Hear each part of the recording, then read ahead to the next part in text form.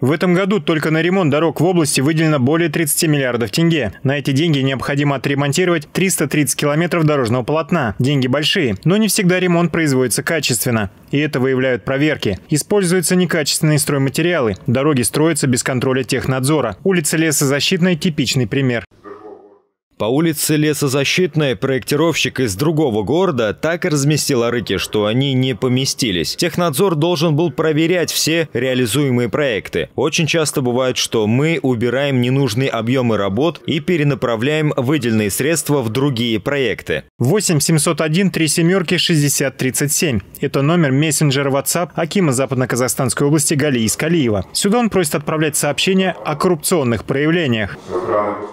Очень часто поступают жалобы от подрядчиков. Со стороны государственных органов требуют взятки или просят устроить на субподряд определенные организации. Мой номер WhatsApp плюс 7701 3 семерки 6037. Если кто-то вам будет намекать на взятки, прошу писать мне. Я лично проверяю сообщения. Соответствующие органы быстро разберутся. Что же мешает подрядчикам работать качественно? Слово предоставили представителям строительных компаний. У нас цены в два раза, в три раза э, могут э, увеличиться. Поэтому считаю, что вот эта проблема существует.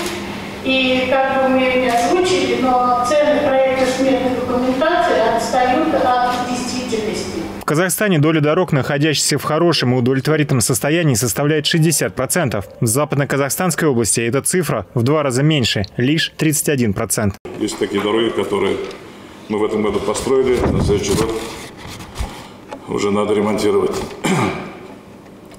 Заказчиком по городу является отдел жилищно-коммунального хозяйства и автомобильных дорог города Уральск. Там э, специалистов у нас один-два человека.